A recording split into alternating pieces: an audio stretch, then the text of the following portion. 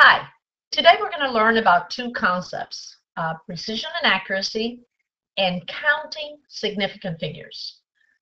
These two concepts are very important when it comes to measurement in chemistry.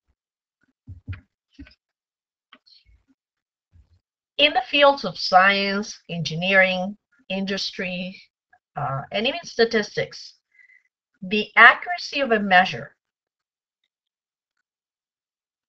is how close that measurement is to the accepted value. To give an example, if we go into the lab and measure the boiling point of water and we get uh, 100 degrees Celsius. This is accurate because we know for a fact that through many, many experiments, people have obtained 100 degrees Celsius as the boiling point of water. However, if I only got, say, 75 degrees, uh, something is possibly wrong with my thermometer, uh, and uh, this measurement, or the way that I'm reading the thermometer, this measurement is not accurate this would not be accurate because we know that 100 degrees is the accepted value for the boiling point of water. Whereas precision has to do with the repeatability or reproducibility of a measurement. If I am able to get, um, I go into the lab and I do my um, experiment and I, I get, every time I get uh, 95 degrees for the uh, boiling point of water. And I do repeat this three times, and every time I get 95 degrees. This measurement is um, somewhat accurate, but not completely accurate, but it is precise because I have gotten that measurement several times. If I uh, go into the lab and measure the boiling point of water three times, and the first time I get 75 degrees Celsius, and the second time I get 85 degrees Celsius, uh, and the third time I get 65 degrees Celsius. None of these measurements are uh, precise. Uh, in other words, here it is precise, but not completely accurate. Precise but not completely accurate.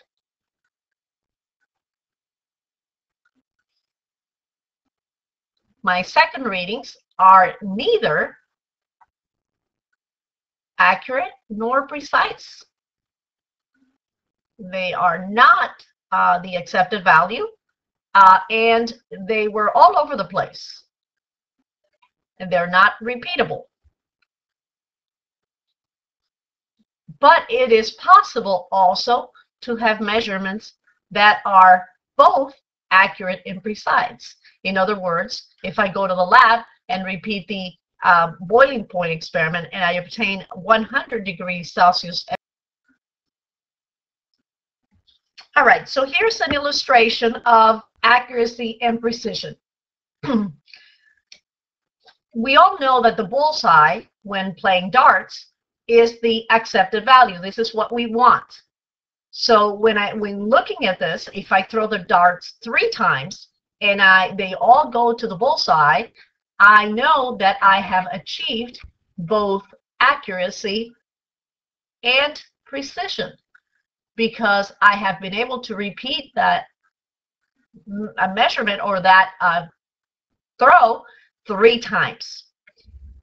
All right, we come to this one over here on the right, and we look and see that one is in the bull on the bullseye. This is um, outside, and this is outside. So I'm going to say that this is not precise.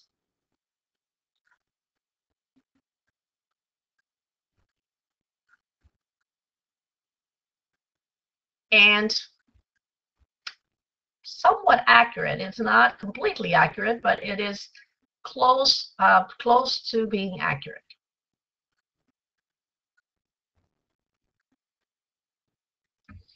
All right. on this one over here, we see that I throw the darts three times and I it lands in the same spot. This is precise. I was able to repeat the same um, measurement or the same throw, but it is not accurate because it did, not land on where I want it, in the bullseye. So precise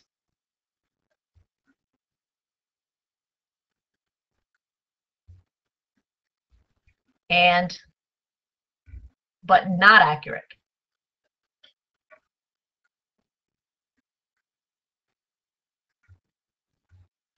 Okay, finally, this one over here, it is neither precise because they did not land in the same place, nor accurate because it is not where I desire to be, uh, desire it to be. So this is neither.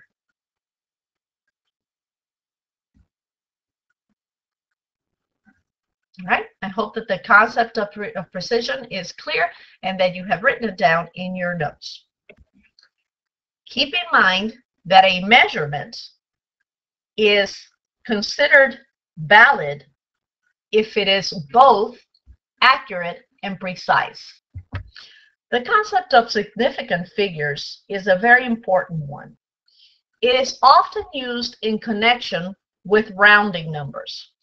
For example, when you plug in a number into your calculator, you may get five, six, seven, eight digits. How do you know where to round off? You don't want to use all of those numbers because it is that is incorrect. So we want to make sure that we understand how to round using the correct number of significant figures. Significant figures can also be called significant digits. So the significant figures of a number, or the significant digits of a number, are those digits that carry meaning and contribute to its so precision. what's the point of significant figures? The, fir- the best way to illustrate that is to show you three different balances. These three balances are uh, uh, arranged according to cost. This is the cheapest balance. This is the next cheapest balance, somewhere in the middle. This is probably about $100. This is this costs about $300. This one costs over $1,000.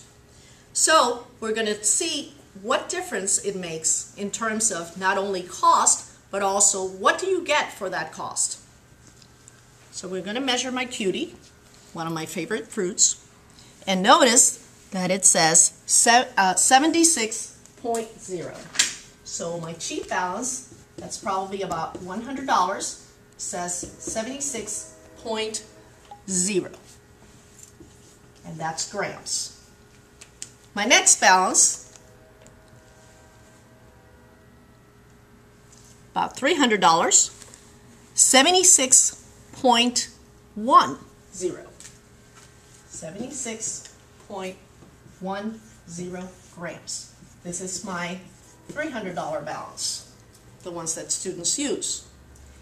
And now I'm going to go to my over $1,000. I'm not sure how much it was, but it, I know it was over $1,000. And I'm going to place my cutie in the little um, glass plate here. And notice that it reads 76.0035.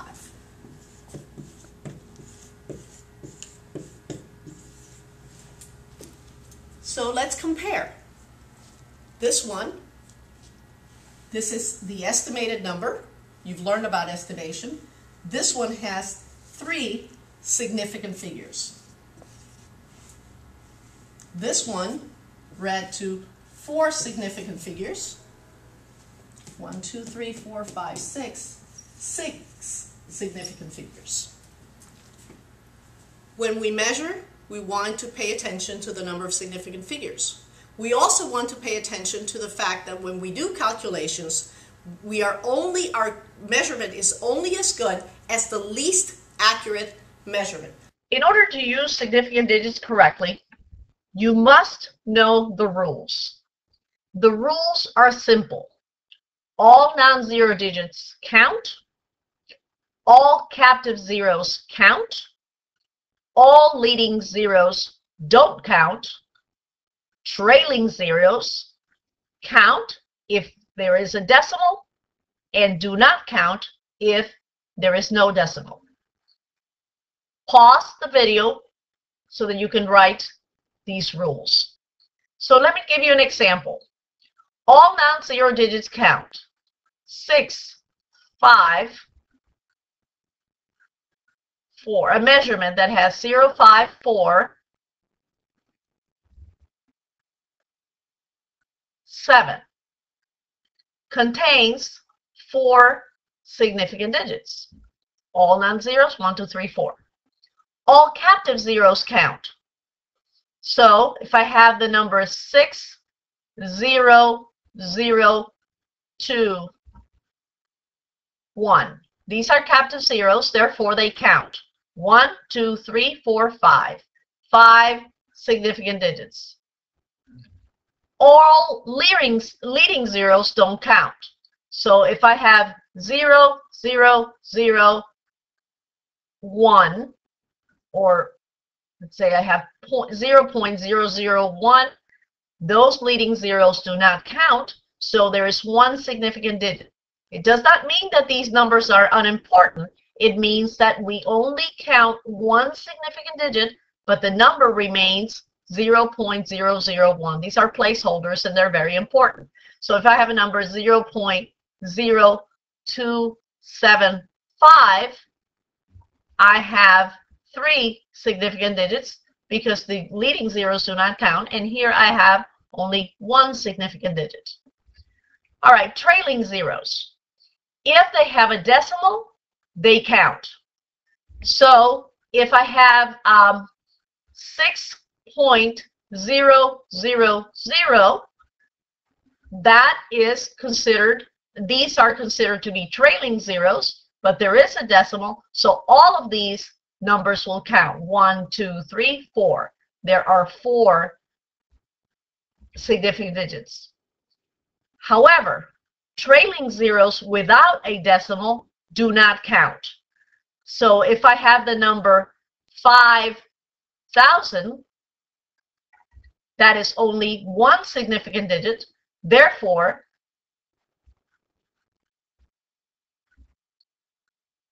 that if I have the number 5,000, that is one significant digit because there are trailing zeros and there is no decimal. A couple of more examples. I want you to try this with me. Measurement 6.73110. This is a trailing zero, therefore it counts for the significant digits and all, all non-zero digits count. So the total number of significant digits here is 1, 2, 3, 4, and 5. Total number, 5. Let's try another one. 0 0.0701. These are leading zeros. Leading zeros do not count for significant digits. Therefore, there are three significant digits. Let's try another one. 7, 2, 0, 0, 0, 0. These are trailing zeros, but there is no decimal. So therefore, there are only two significant digits. Let us try the following number, 475 point two seven one zero. There's a decimal. This is a trailing zero. Therefore, it does count. These are non-zero digits. They all count for a total of one, two, three, four, five, six, seven significant digits. Okay, we're going to leave it at that. And uh, we're next, we're going to talk about how to round numbers correctly when we are adding or subtracting or multiplying or dividing.